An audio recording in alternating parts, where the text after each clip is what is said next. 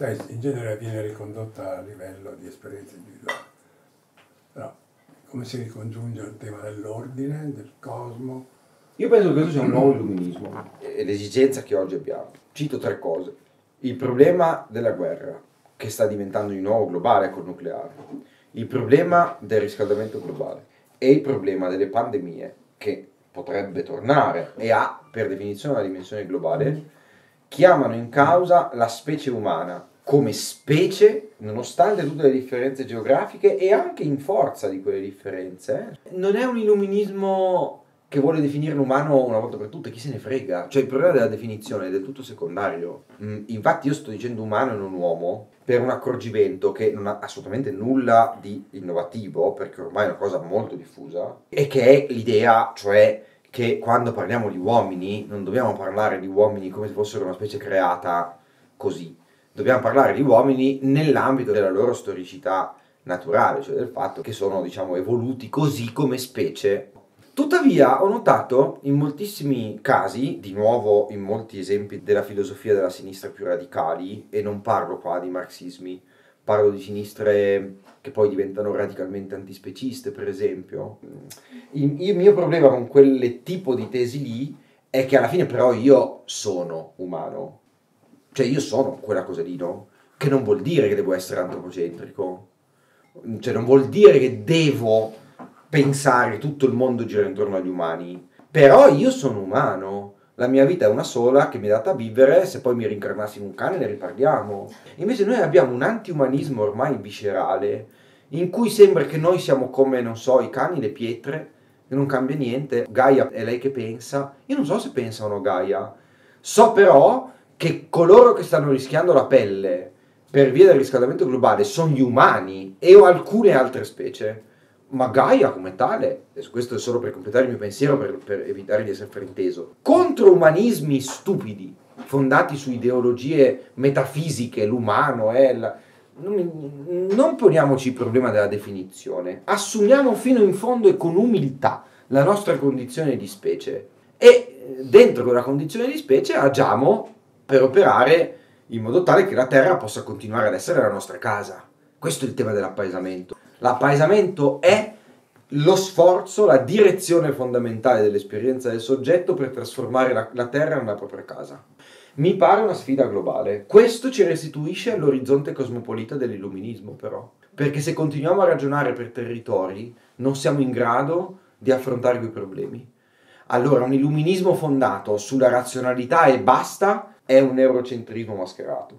L'abbiamo già detto da molto tempo però. Mm-hmm. L'abbiamo detto negli anni 90, l'abbiamo detto negli anni 80, l'ha detto l'ermeneutica, la decostruzione, l'ha detto Deleuze, l'ha detto, l'ha, l'ha detto Marx, l'ha detto tu, tu, tutto quello che c'è a sinistra l'ha detto, eh, ma l'ha detto anche la destra perché ce l'ha con l'illuminismo perché è troppo, com'è, liberal borghese, invece bisogna tornare al sangue e terra. L'hanno detto tutti, lo sappiamo.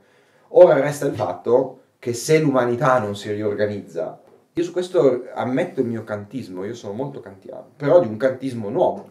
Cioè Kant ha questo orizzonte cosmopolita, che però non è mai basato sulla pretesa di una definizione. Non è che Kant ti dice l'umano è questo, tutti gli umani sono così e quindi devono far così. Kant dice che l'unica cosa che può definire tutti gli umani è la loro libertà dell'agire, e cioè praticamente non è possibile definirlo, perché la libertà dell'agire è una precondizione trascendentale che non può essere valutata fino in fondo e ti dice però che il destino dell'umanità è comune. Ecco perché la pace perpetua, ecco perché la storia. Secondo me questi argomenti dovrebbero essere recuperati oggi. Oggi abbiamo nuove, nuove ragioni per recuperarli. La felicità? Guarda, io questo non lo so. La felicità, dal mio punto di vista, ritengo che l'appaesamento sia la posta in gioco della felicità, cioè il contrario, esatto, no? Però oggi la questione della vita sulla Terra, vita umana sulla Terra, è talmente grave, talmente pericolosa, che il rischio è che altro che felicità, è che la vita umana sulla Terra non ce la faccia più.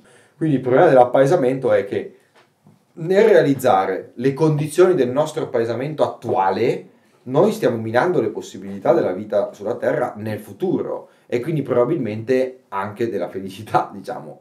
Tendenzialmente mi verrebbe da dire questo, che la felicità di un essere umano medio della nostra generazione, della nostra storia, potrebbe stare in un buon equilibrio di appaesamento e spaesamento. L'appaesamento assoluto è un incubo. Vi do un esempio. Borges, 1946, il racconto della mappa a scala 1-1. Premettiamo che, se è vera la questione dell'appaesamento, la mappa è uno strumento dell'orientamento funzionale alla felicità, intesa come non mi perdo, mi oriento, questa è casa mia. Ma ammettiamo anche che ogni mappa è, vuoi per la sua radice ermeneutica, vuoi per i suoi condizionamenti estetici, vuoi perché è in scala, limitata. La limitazione è la condizione dello spaesamento. Non mi posso sentire fino in fondo a casa perché non ho veramente una padronanza assoluta dello spazio. Ogni mappa è limitata. Allora lui dice, siccome tutti vogliamo le mappe, immaginiamo una situazione nella quale invece riusciamo ad arrivare ad una mappa in scala 1 a 1, cioè conquistare completamente lo spazio in cui abitiamo, sentirci quindi fino in fondo a casa.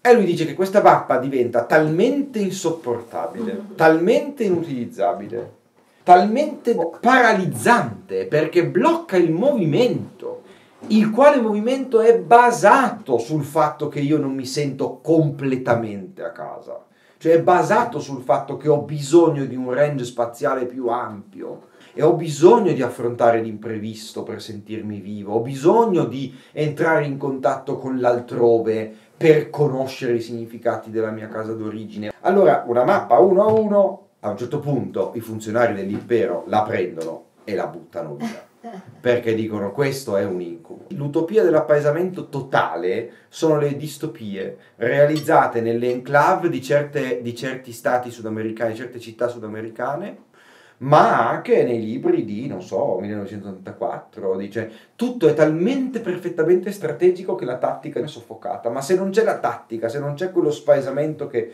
fa muovere il mondo e fa muovere la vita, c'è solo la morte. Quindi la felicità, secondo me, è la tendenza verso l'appaesamento, nel saper però anche cogliere il bello dello spaesamento. Ecco, cioè forse il bilancio di queste due cose.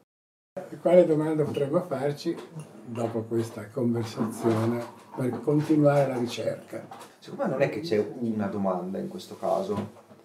Su questo tema, siccome è così vasto, perché riguarda il nostro modo di stare nello spazio, cioè, per esempio, se dovessi fare il pubblico amministratore, eh, io penserei soprattutto alle questioni delle aree dismesse, per esempio, oppure alla fruizione di spazi pubblici. Però se fossi uno che deve organizzare la prossima vacanza, mi chiederei, ma come fare a fare in modo che sia un'opportunità per imparare qualcosa e quindi spaesarmi anche un po'? Se fossi uno che studia filosofia, forse la domanda che sarebbe beh, qual è il risvolto spaziale di quello che sto studiando, perché tante volte è stato trascurato in passato. Però se io fossi uno che, che fa geografia, probabilmente direi, beh, la geografia ha una fortissima rilevanza filosofica, una fortissima rilevanza concettuale, devo interrogarmi sulla didattica, sul modo in cui faccio la... Cioè, dipende da qual è la prospettiva da cui la prendete. Però io credo che questo tema funzioni bene dal turista fino ad arrivare allo scienziato che si occupa di geografia o filosofia, fino al politico. Questo è un tema di forte, fortissima rilevanza politica, no? Naturalmente. In realtà eh, devo dire che Paolo ha affrontato oh, una questione di prospettiva, di metodo e di eh, orientamento. Io posso non condividere, ma certo, comunque, certo. citato Kant, illuminismo temperato è una risposta, ma è anche una questione eh, che noi dovremmo porci sempre. Abbiamo avuto il coraggio di, di, di, dirlo e questo mi pare molto morale, sinceramente. Tanto su queste cose non c'è dimostrazione scientifica e quindi l'unica cosa che ci rimane è quella che Aristotele chiamava il sillogismo dialettico, cioè ragionare bene, bene, premesse, conseguenze, ragionare bene, a partire però da premesse che sono di convincimento. Questo era il sillogismo dialettico e Aristotele diceva che il sillogismo dialettico era il tipo di razionalità che informava la politica. Ed è esattamente così, cioè non, non, si può pensare di buttarla solo a livello teorico, bisogna a un certo punto avere la forza di, di assumere un punto di vista.